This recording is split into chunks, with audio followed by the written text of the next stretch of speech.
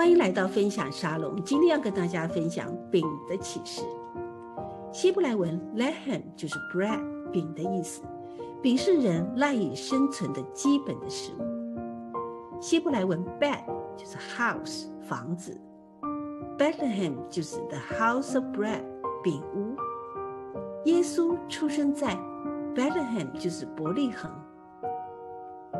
你期待在饼屋里找到什么呢？毋庸置疑，当然是饼，满足我们的基本的生活的需求。那如果你在追求金钱、成功、事业、快乐，你到饼屋里面去寻找，你找不到。那么你在伯利恒找到什么呢？找到耶稣。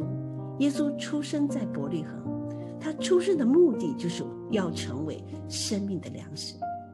在伯利恒，我们的主耶稣道成肉身来到我们中间，这向我们启示，我们最需要的是耶稣，我们生命的粮食。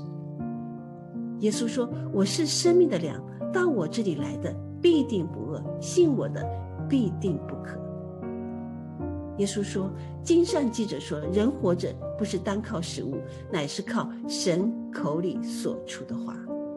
太初有道，道与神同在，道就是神。”因此，我们可以看到，道就是神的话，就是耶稣，就是生命的粮食。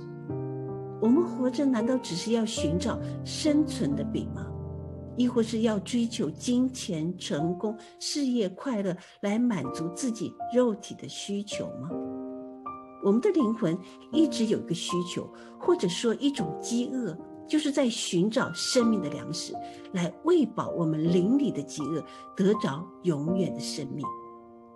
耶稣说：“我就是生命的粮食。”同时，我们领受耶稣生命的粮食，得着饱足后，也被赋予一个使命，将基督的生命传出去。饼的启示就是，饼是我们生活的基本的需求。但耶稣是道成肉身、从天而降的生命的粮食。他出生在伯利恒，就是预表他来是为了成为我们生命的粮食。就是我们得着永远的生命，愿神祝福你。